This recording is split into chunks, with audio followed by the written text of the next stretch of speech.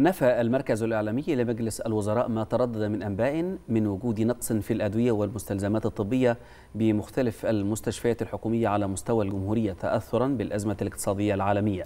وشدد المركز الإعلامي على توافر كافة الأدوية والمستلزمات الطبية بشكل طبيعي سواء في المستشفيات الحكومية أو الوحدات الصحية.